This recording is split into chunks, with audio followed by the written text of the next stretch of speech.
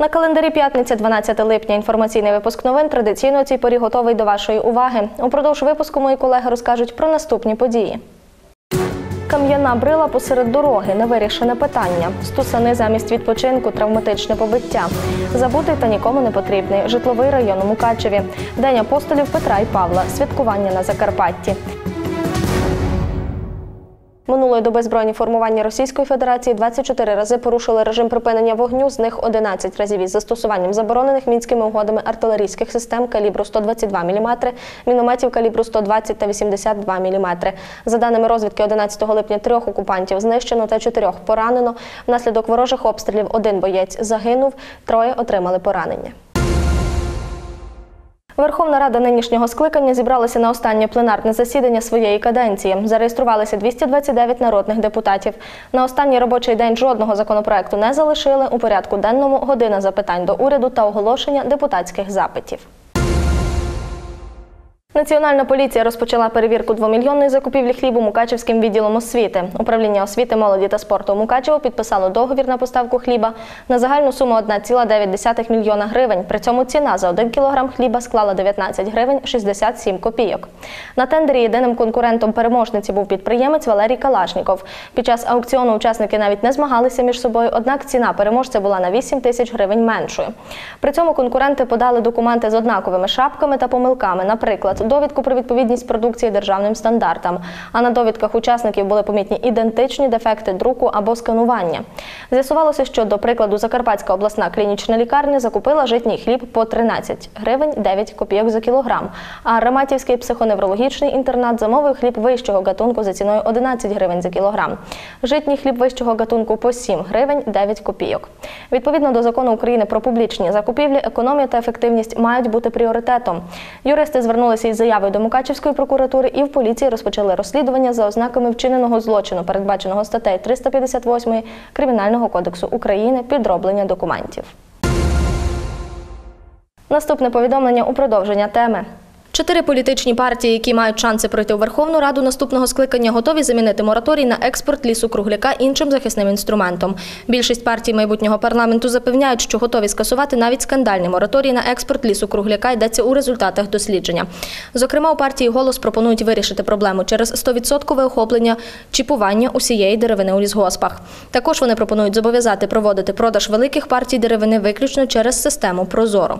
Слуга народу також погодилася із потребою скасування мораторію, замінивши його чимось іншим, але уникла деталей, пообіцявши запровадити правила вирубування за зразком Швейцарії або ж Австрії. У європейській солідарності також визнали, що мораторій суперечить угоді про асоціацію і доведеться шукати взаємоприйнятий компроміс із ЄС, але не навели конкретних ідей. Найрадикальніше рішення пропонують у смешка сила і честь готова до запровадження повної екологічної заборони вирубки, у тому числі і для внутрішнього споживання. Єдиною партією, яка ратує за збереження мораторію у його нинішньому вигляді, стала батьківщина. Український ліс має перероблятися в Україні, даючи продукт із доданою вартістю, заявили у партії Тимошенко. Опозиційна платформа за життя не планує виконувати угоду про асоціацію, називаючи її умови кабальними. Як відомо, Україна стала першою країною, у відносинах із якою Євросоюзу довелося використати механізм арбітражного вирішення суперечок, прописаних в угодах про вільну торгівлю. Причиною стала суперечка довкола заборони експорту лісу кругляка. Стусани замість відпочинку у Буштині для двох чоловіків вечір суботи закінчився лікарняним ліжком. До альтанки, де вони відпочивали зі своєю компанією, підбігли молоді хлопці і нічого не пояснюючи, почали бити. Як наслідок у одного з постраждалих переламана щелепа, у іншого перелом носа, а ще синці та ссадна по всьому тілу. У ситуації розбирались мої колеги. Чим закінчиться суботній відпочинок, Іван Феєр не міг собі навіть і уявити. Каже, погода була гарна, тож вирішили зібратись з друзями, щоб посидіти в центрі селища та поспілкуватись. Спочатку присіли були ну, з цієї сторони на лавочку, а потім ну, дуже багато машин там наставало з вечора. Почалася музика, шум, а ми вирішили трохи відійти набік, там тихіше, спокійніше. Туди відповідно сіли там.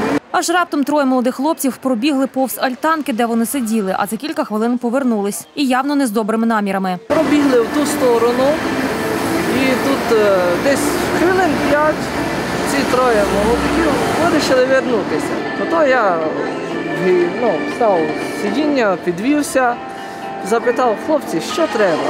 І гоп, і той мені нараз йде відповідь удар.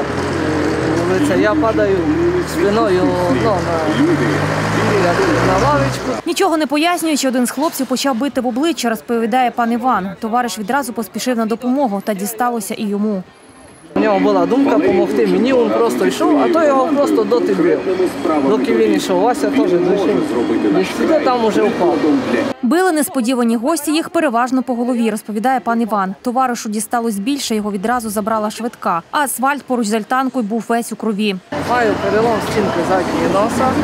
Мій ніс теж вправляли, бо він був криво. Е, Маю от забій щелепи, мене там всередині розрізалося.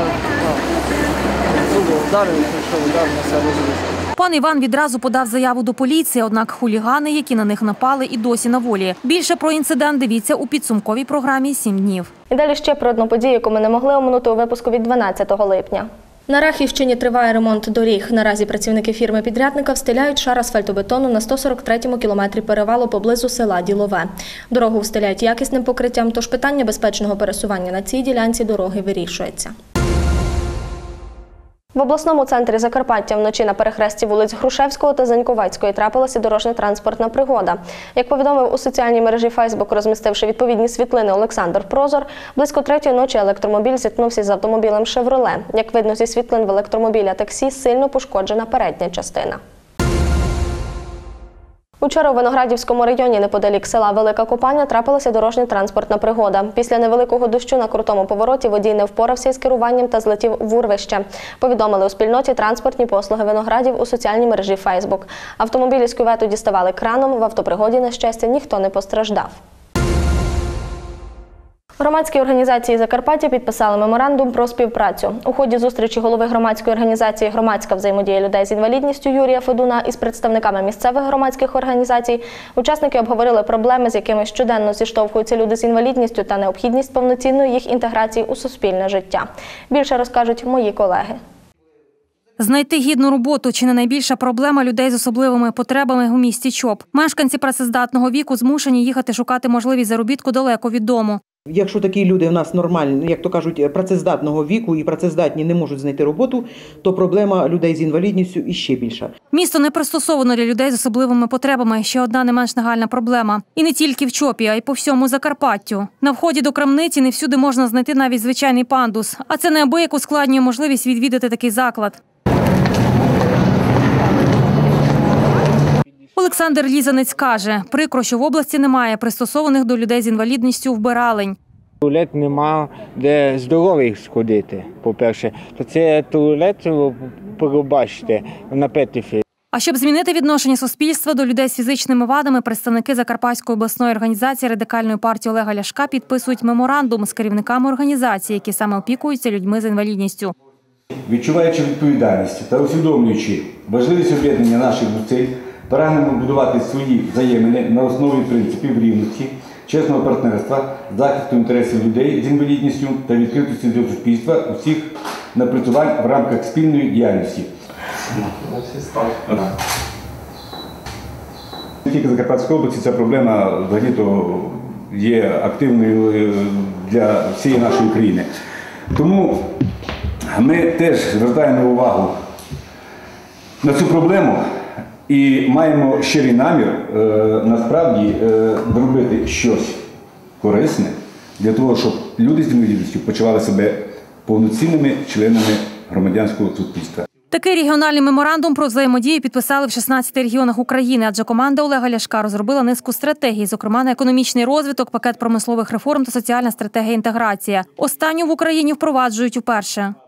Такої стратегії раніше ні в кого не було і не було навіть натяку. Це місії по захисту, правовому захисту через е, організації радикальної партії на місцях, через юристів радикальної партії, через депутатський корпус радикальної партії, налагодити взаємодію з громадськими організаціями і розпочати діалог та взаємодію. Меморандум набирає чинності з моменту його підписання. Тому, як розповідає Володимир Шубець, готові відстоювати інтереси людей з особливими потребами, зокрема у Верховній Раді. На Закарпатті шукають зловмисників, які стріляли у начальника УЗ. Перший з них має зріст 175 см, вік до 25 років. Одягнутий у синю куртку до коліна, на голові мав перуку сивого кольору, також капюшон, окуляри темного кольору. На куртці на поясі кобури з лівої сторони, у кобурі зброя рукояткою вперед чорного кольору. Темні спортивні штани і кеди світлого кольору. Друга особа на велосипеді вік 24-25 років, круглолиций, волосся коротке русяве, штани темного кольору, майка сірого кольору. Попередньо може направлятися із мікрорайону Новий, місто Ужгород. Нагадаємо, що вчора зранку невідомі особи стріляли в начальника УЗ Національної поліції. 11 липня в селищі міського типу Ясіня Рахівського району на вулиці Криворівній горів житловий будинок місцевої пенсіонерки. Про пожежу до служби порятунку Закарпаття о 10.46 повідомили сусіди, коли побачили, що з даху оселі назовні вириваються язики полум'я і йде густий дим. Полум'я досить швидко розповсюджувалось будівлею, адже вона частково побудована із дерева. Спільними зусиллями о 12.05 пожежу було локалізовано, а через 20 хвилин повністю ліквідовано. Вогнеборці запобігли поширенню пожежі на більшу площу та врятували від перекидання поруч розташовані надвірну споруду та хлів. У результаті пожежі вогнем знищено покрівлю та перекриття на площі 91 квадратний метр. На пожежі ніхто з людей не постраждав. Остаточну причину виникнення пожежі та інші обставини справи з'ясовують правоохоронці. Вже довгий час залишається невирішеною проблема з кам'яною глибою, яка впала на земельну ділянку жительки села Нижній Бистрий. Неодноразово вона зверталася до сільського голови, але питання так і залишається відкритим. Більше у сюжеті наших кореспондентів. Під час пер- безперервного дощу скотилося тако 500-600 метрів з гори. Попри мого будинку там поламало в мене, зараз вам буду показувати. О, прекрасно. Покотилося сюди, бачите, куди на вулицю. Тут і тут на асфальт. Потім, ну як він тут зупинив, позвонила МЧС, прийшли через півгодини, і сунули його туди на край. І по сьогоднішній день З повторним приїздом на місце події пані Ганну ми не застали, а донька від коментарів на камеру відмовилась. Казати нічого. Ми вже й не сподіваємось, пояснює вона. Після декількох звернень до сільського голови села Нижній Бистрий з проханням прибрати камінь, він так і залишається на своєму місці. Нанесені в зв'язку з надзвичайною ситуацією. Ага, визнали це акт. Тобто, о, це приїхала комісія якась до вас? була комісія сільської ради. Результату ж в підсумку ніякого. Було вирішено їхати до сільського голови. Пообіцяти вирішити проблему він зміг, а виконати роботу так і не спромігся. Хлопці, без коментарів, все. Ну, місяць тому звертались щодо проблеми каменю. Хлопці, без коментарів. Сільський голова відмовився від коментарів, ссилаючись на дорожні служби. Сільський голова не дав коментарі і окремо, ніби залишаючись осторонь ситуації. Навіть складений пані Ганною в сільській раді акт на нього не вплинув. Ось і виходить, що сільський голова ніби працює, але камені понині там. Забутий та нікому не потрібний. Саме так жителі Борохтелепу в Мукачеві називають свій район. На більшості їх вулиць немає нормального дорожнього покриття, постійні звернення жителів району до міської ради ігнорують. От і доводиться людям жити в умовах, які цивілізованими аж ніяк не назвеш. Поспілкувались з обуреними місцевими і мої колеги. Самі погані вулиці то в нашому районі. Богом забитий Бороптелеп. Я тут случайно попав жити і живу. А, ніде в Мукачеві таких поганих вулиць немає, як у нас. Скільки я тут живу, от я тут живу з 76-го року, я народилася. Я взагалі не пам'ятаю, що в цьому районі щось робили. Цю вулицю жінка називає однією з найкращих у районі Бороктелеп. Інші каже, взагалі непрохідні. Натомість платників податків у районі вистачає. Можете пройтися, подивитися, скільки тут є магазинів, скільки тут є платник- платників податку, скільки ми в бюджет перераховуємо коштів, а нічого не видно, щоб для цього району взагалі хоча б щось робилося. Я взагалі одно, що зробили е, нам е, освітлення, і не знаю, там на, на даний момент е, сказали, що проводять нову каналізацію і нове підключення водопостачання. Заміна труб річ необхідна, кажуть місцеві, але на жаль, роботи, які мали тривати декілька днів, затягнулися та створили чимало незручностей для місцевих. Не можемо навіть з машиною виїхати. Ну не можеш взагалі. Обіщали, казали, що буде на два дні, але вже затягнулося більше, ніж на тиждень. По поводу каналізації. Я там мешкаю рядом. Проблема в тому, що каналізація строїться дуже повільно. Повільно треба якось скорше то все робити і дати людям змогу, щоб можна було до своїх будинків під'їжджати. Там все перекопано, зараз дожі підуть, все грязь кругом. Окрім того, каже пан Валерій, постійно виникають і проблеми з водопостачанням. Так додає ремонтні роботи в цивілізованому світі вже давно не роблять. В нормальних цивілізованих країнах Якщо робиться заміна водопроводу, то кладуться временні, временний водопровод, щоб людям не було проблем. Ну, у нас такого, мабуть, ніколи не буде, да? Я лично бачу, як німці роблять. Спочатку временно кладуть, а потім от відключаються. Та в їх районі кажуть, місцеві взагалі до цивілізації далеко, бо роками чекають на оновлення дорожнього покриття та, хоча б якийсь на якийсь дитячий майданчик. Влада ж міста в свою чергу постійно їх запити ігнорує. Нам образливо, що для нашого району навіть не можуть е, е, завести щебню, а вже не говорячи за відновлення вулиць. А для деяких районів вони роблять багато чого і багато на що ставлять, е, акцентують. е, е, Свої вкладення, хоча я кажу, для як для платників податків нам взагалі то шкода. І поки жителі цих вулиць вже роками чекають хоча б на якийсь ремонт в Мукачеві, вулиці будують з нуля. Кому це вигідно та скільки б міськраді коштувало заасфальтувати ці дороги? Дивіться у випуску «7 днів. Минулий рік був знаковим для закарпатських бухгалтерів. Про це йшлося на засіданні, присвяченому Дню бухгалтера і аудитора, яке відбулося 11 липня. Про найголовніші фінансові питання та новини, які обговорювалися на зібранні, більше знає наша кореспондент Олена Добра. Святково вбрані із квітами та відзнаками. В Ужгородському прес-клубі зібралися справжні фахівці з фінансів. 16 липня в Україні відзначають День бухгалтера та аудитора. І хоч засідання було дещо святковим, на ньому обговорили і низку питань щодо нових законодавчих змін у законі про бухгалтерський облік та фінансову звітність в Україні.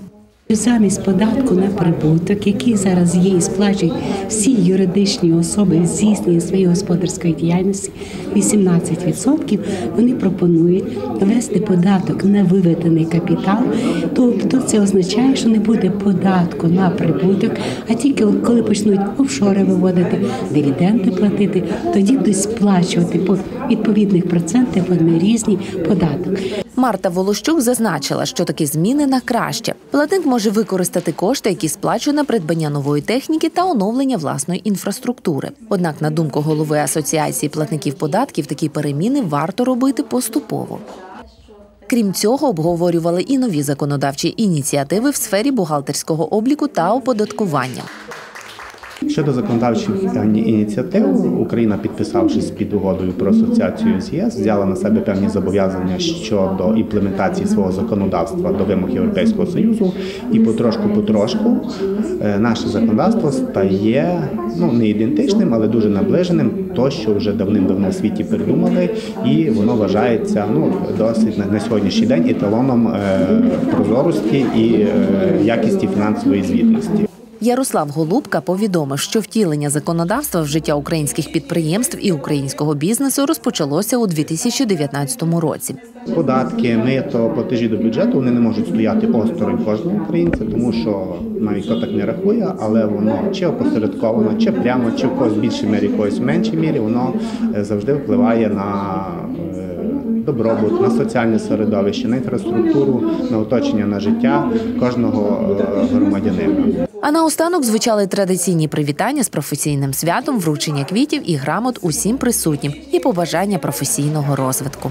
Робота надзвичайно відповідальна, надзвичайно серйозна. Вона потребує постійного підвищення кваліфікації, постійної праці над собою. Е, Роль як бухгалтера, так і аудитора надзвичайно велика в економіці, в бюджеті країни. Від того, як правильно нарахує податки, як сплатить, як подасть, так наша казна наповниться, і так само підприємство буде або процвітати, або падати вниз. Надзвичайно щаслива і рада, що саме сьогодні, от в числі тих, кого ми вітали, було дуже багато молоді. Е, Це науковці, кандидати економічних наук, це е, фахівці, практикуючі. Це мене це дуже дуже радує і дуже тішить, що дійсно ми виховуємо нашу молодь і дійсно нашу справу будуть продовжувати гарні справжні фахівці. 12 липня православні християни відзначають День святих апостолів Петра і Павла. Це одне із найбільших свят у році. За Євангелієм Петро і Павло були учнями Христа і саме в цей день прийняли мученицьку смерть у Римі. Святих вважають покровителями худоби, пастухів та врожаю. Більше про святкування у нашому сюжеті. Сьогодні християни відзначають одне з найбільших релігійних свят День святих первоверховних апостолів Петра і Павла. Їх пам'ять щороку вшановують 12 липня.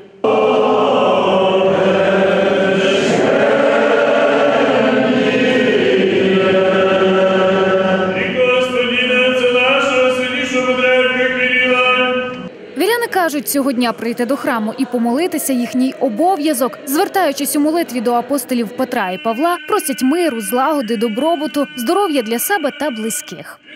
Якщо ти підтримуєш, як кажуть, е, нашу православну і католицьку віру, до церкви треба ходити. Я предпочитаю і поважаю той народ, який посіщає церкву. Немає значення. Яку, бо я теж я, я проживаю в Мукачеві, але я заходжу в кожну церкву і в ту, і всю. Але праздник той великий, є престольні праздники на Петра Павла десь. А по всім церквам не походимо. Де престольний праздник, то ліпше, куди Ідеш мимо, можеш зайти сюди, йдеш на монастир, можеш зайти сюди, але праздники і церкву треба відвідувати. Петро то є перший первонаступник Ісуса Христа, якому Ісус Христос довірив дальніше, як казати, віросповідання на землі. Ну, і то я, я вважаю, що то дуже важливо святкувати цей день і прийти до церкви. Дуже важливо. Свято первоверховних апостолів Петра і Павла завершує собою Петрів піст. За традицією, сьогодні слід відвідати рідних та друзів, пригостити їх рибними стравами власного приготування. Ну і звісно, не забути привітати тих, хто святкує іменини. Буду вітати, є в мене і Петро, і Павел, є в нього Петровичі, є Петрівни. Ну, але всіх не відвідаю, бо треба і там, і там відвідати по 50 грам, і там, і там. Але відвідаю. Бо є в нього дуже хороші люди.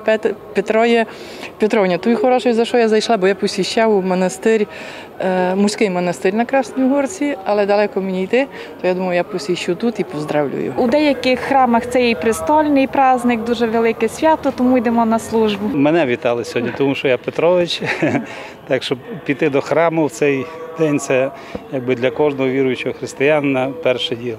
Згідно з давньою легендою, Петро був свідком перших чудес, здійснених Ісусом, преображення і страждання Христового. А ось Павло спочатку був гонителем християн і зустрівся з Ісусом вже після чуда Воскресіння. Обидва відданих учня прийняли мученицьку смерть в ім'я свого учителя. Папа Римський створив окреме намісництво Української греко-католицької церкви. Нова територіально-адміністративна одиниця охоплює всю територію країни. Це близько 70 тисяч вірян із півтори сотні громад. Служби української мови правитимуть шість десятків священників. Наприкінці минулого століття до Італії масово подалися українці, які утворили цілу діаспору.